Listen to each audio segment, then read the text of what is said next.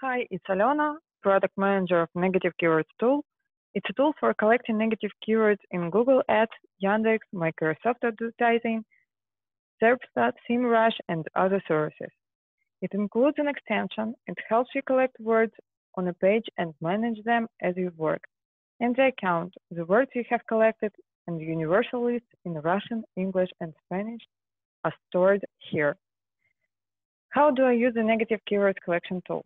First, you need to install the extension in the store. The link is in your account or on our website.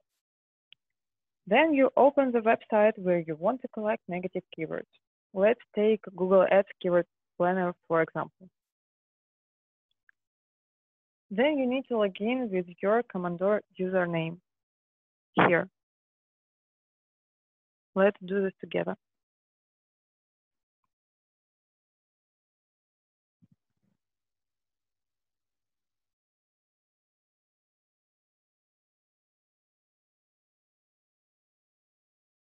You will see the extension here.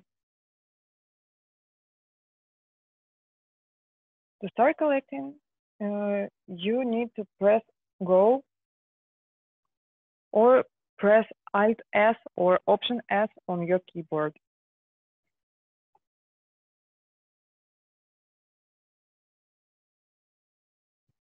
Words are underlined, so everything is ready to go. To select one word, just click on once.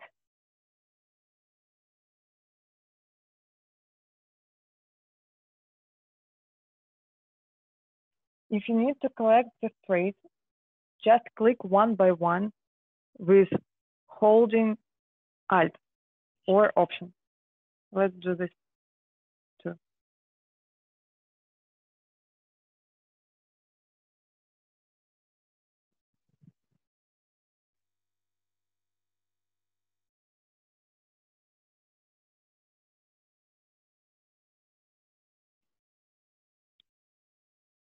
You see that the collected words are highlighted on the page and they are saved in the extension.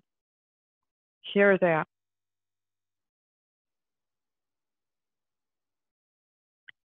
Using the clear button, you can delete all words here. Using the save list, uh, you uh, can save negative keywords in your personal account. Saved lists you will see in your uh, account in Komondor side or on your word list here.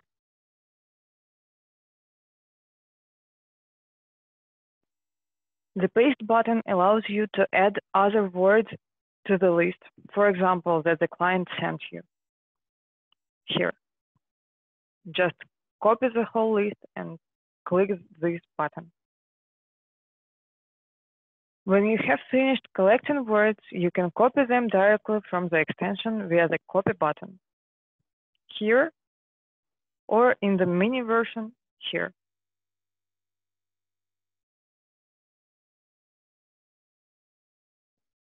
And the words will be copied as a list, each phrase in a new line. So now let's look at your personal account.